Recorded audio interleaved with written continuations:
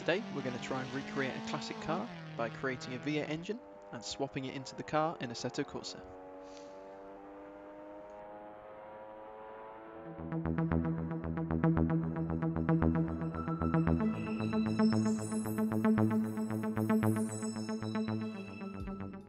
Hi there, uh, Zephyr J here. Hope you're having a good day wherever you are. It occurred to me that I've spent the last uh, month or so um, so busy working on Engine Crane and trying to get it to work and uh, trying to improve it in various ways uh, that I've not actually had a lot of time to sit down and have a play with it uh, myself.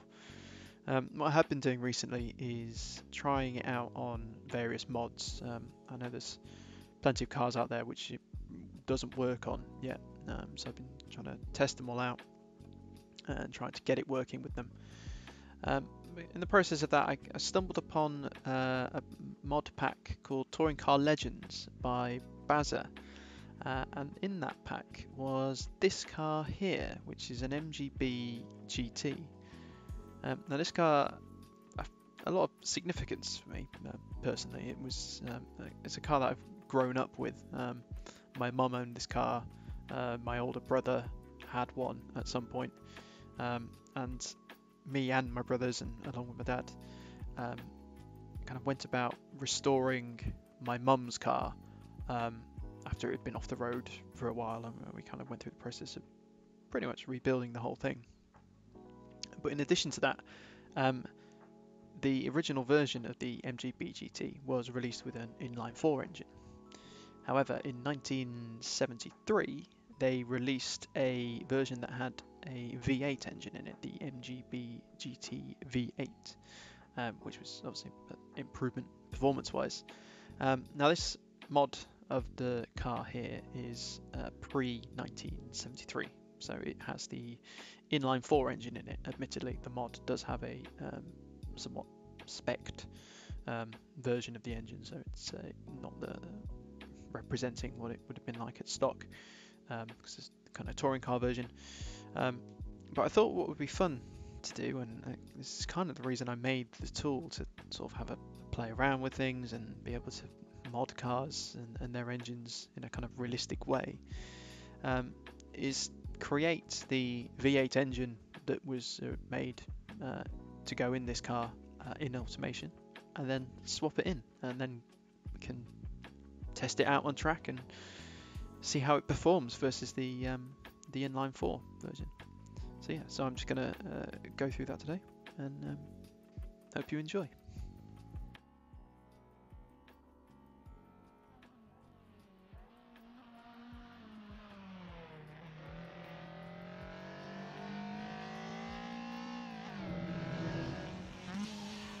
Before we go ahead and make our V8 engine, uh, I've taken the mod out for a few laps on, around Donington uh, to try and set a baseline time uh, that we can use to judge how we're doing with the, the engine creation process.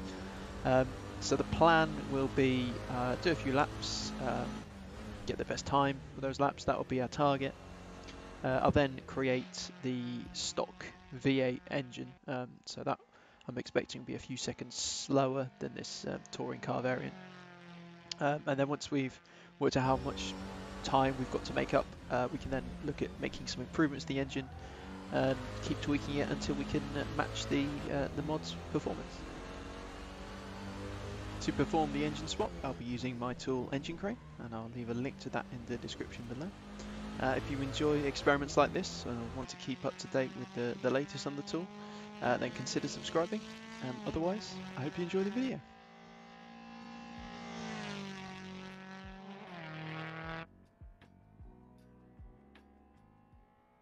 So coming up to the line of the best lap I could do, and that's a 125.1. So our first port of call is finding out some details about this uh, V8 engine that we want to create. Um, so thankfully the MG Owners Club have got a, a, quite handy page here that kind of goes through some of the, the history of the car, um, and the bit that we're most interested in for the moment is some technical specs. So this has got some good details on, um, obviously, uh, 8 cylinders, uh, 90 degree V, so that's something that we can set in automation. We've got the bore and stroke information, um, compression ratio, uh, some information about uh, how the valves are uh, configured, so push rod. Um, so yes, so this is a really good starting point to uh, help us create it in uh, automation. Um, and in addition to this, the other thing we're going to need um, to get a, so we can roughly approximate it correctly is a torque curve, which I've also managed to find uh, one online. So I'm going to take this data, uh, have a play around in automation, and hopefully come back with something that matches this fairly closely. So after a long time playing around uh, with all the various permutations and uh, quality sliders and um, all the bits and pieces you can set in automation, um, this is what I've managed to come up with. I think with a bit more tweaking it can maybe be closer, um, but I, I, think this is a fairly good approximation. Um, so we've got our torque, max torque is fairly close, 260, we've got uh, 262 uh, reported in the real engine. Of course, these were reported, um, I think they're factory reported, so these are never 100% accurate anyway. Um, so we've managed to get it around the same number uh, at around uh, the same sort of uh, RPM range, so 2900. We're kind of hitting our peak at 2900, 3000 RPM, so that's uh, fairly accurate. Um, and the thing I really wanted took me a while to kind of get right was having our uh, kind of peak power uh, from sort of 4,000 RPM to 5,000. Um, we kind of peak up a little bit in the middle, um, which I couldn't work out a way uh, to kind of get the torque curve up here um, and keep this completely flat on the way down. Um, but it's pretty close, I think. Uh, I think at 4,000 we're at 103 kilowatts uh, and at 5000 we're at 103 so kind of the same. So that's just a, a kilowatt over um, our graph that we're, we're trying to match. Uh, so I think this is a pretty good starting point. So I did a little bit more digging on the uh, the engine and uh, it turns out reading the MG Owners Club page again another a, a really good source for, for data for this uh, is the, the V8 is the Rover V8 or based off of the Rover V8 uh, which was quite a popular engine um, around the time, and it was used all the way up into the, the early 90s, I think. Um, used in ended up uh, going into Land Rovers in, um, slightly different configurations to the one that was used in the MGB, um, but it also went into uh, the Rover SD1. And having a little search around on uh, for other mods, I've stumbled across this, which is the Rover SD1 uh, V8 uh, 3.5 litre, which is the same um, capacity that is used in the MGB um, mod. And so I think to give it a little bit more realism, we can take the engine noise from this car and put it into our modded um, MGB GT. To, so we can not only have a, a matching torque curve and um, hopefully similar engine characteristics, but also we should get the engine noise as well.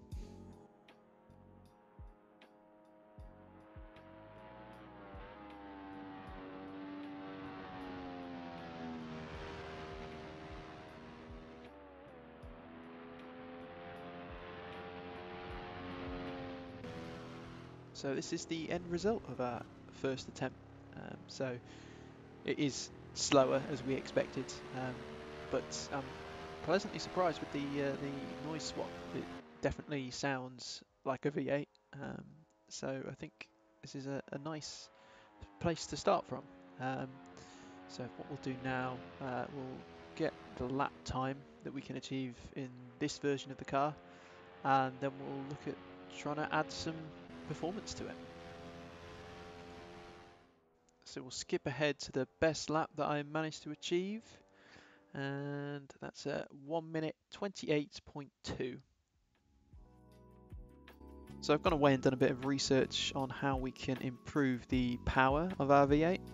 I wanted to do it in a at least semi-realistic way, um, so I've gone out onto the internet and had a look for parts that you can find for the Rover V8 engine. I found a few, um, so we've got this here, the uh, four-barrel um, carburetor, which is an improvement over the um, the original. In addition to that, we've got this um, stainless steel uh, tubular exhaust system, to improve the flow.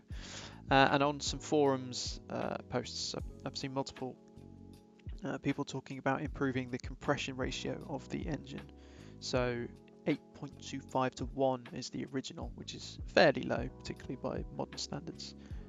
There's a lot of posts saying that it is possible to improve that. Uh, one example here is saying using uh, newer pistons and rings, you can get it up to 9.35. So I'm going to uh, use that um, as a kind of another improvement that we can go with. Uh, so the end result of that is we've just upped our compression ratio to match um, Katana Man's uh, uh, suggestion on pistons.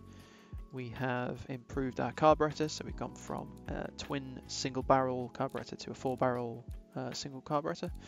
And in addition to that, we've got uh, the tubular mid, which is the, the smallest tubular exhaust we can uh, use in automation.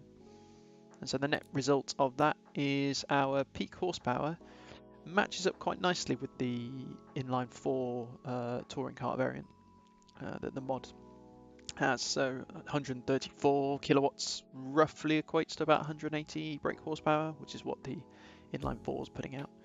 We have more torque, um, which I guess you would expect, um, more cylinders, and um, so down the lower end we should be a, a, a bit better off. The other nice thing is that the aesthetics match up quite nicely to the uh, things I found on the internet. So the carburetor there looks very similar to what we've got, and the uh, tubular kind of look of the exhaust looks quite similar, although it does look a bit fancier on uh, this one.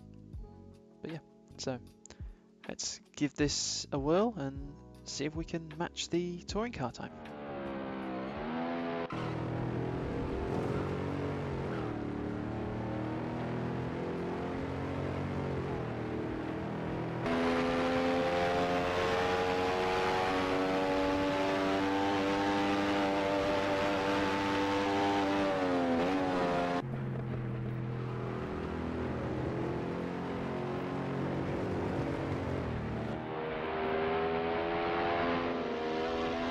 So after doing a few laps around Donington, uh, coming up to the line on my best lap, and that was a 125.1. So I reckon we can call that a success. So we've managed to match the original mod's four-cylinder engine with a few minor tweaks. Uh, but as that engine is tuned, um, we've got a bit of headroom to uh, tune this V8 a bit more, I think. Uh, so let's see what kind of extra performance and uh, lap time we can find from it. Um, so yeah, again, kind of following the, the same pattern as the first time round with the upgrades. I've gone away on the internet, tried to find some uh, hopefully realistic uh, changes that could be made. So first up, I found this uh, even better uh, carburetor setup, uh, and we can have a little look in here. What do we do? Fuel system. Um, so yeah, we've swapped in this. Um, and improved the intake manifold as well to kind of match up with that.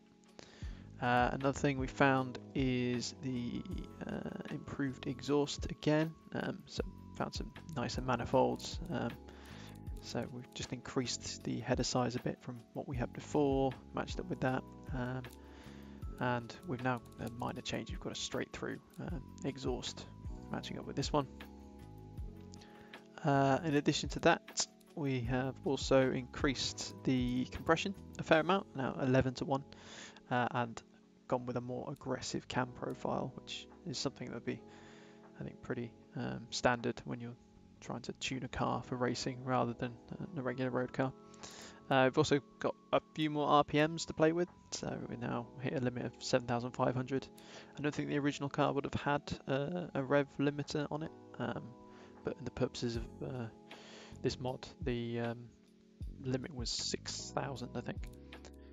The other significant change is switching to um, E85 uh, fuel. So again, something else that would be used in a kind of racing environment. These are latest changes. We're now putting out 200 kilowatts, uh, 6,009 RPM. That's equates to about 260, 270 uh, brake horsepower uh, and we're up to 316 newton meters. Um, so yeah, so a lot of our power is a lot higher up in the RPM range as well, so it should be more a revy engine.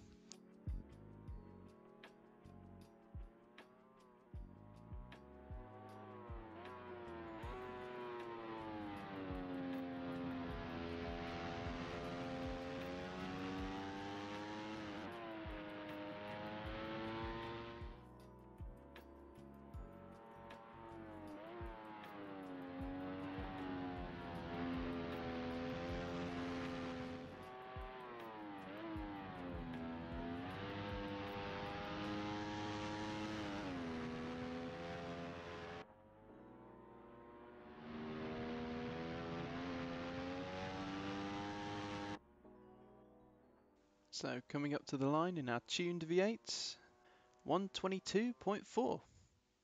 A nice two and a half seconds worth of improvement.